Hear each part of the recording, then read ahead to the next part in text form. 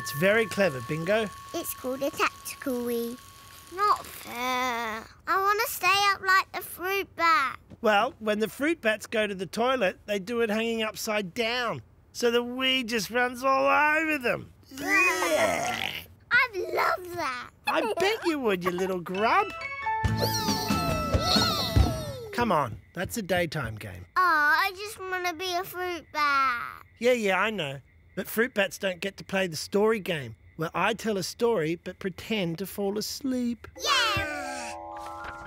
So the little puppy peeked in the window, and on the table was the most beautiful. Wake up.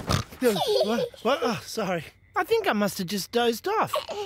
Now, where was I? Oh, yeah. The most beautiful golden egg she'd ever seen. So she climbed inside, but out jumped a huge, hairy. Ah, Wake up. Spider!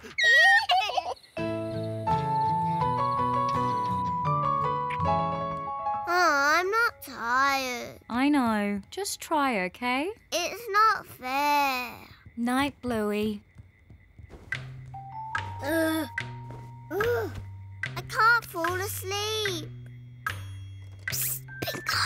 Are you awake?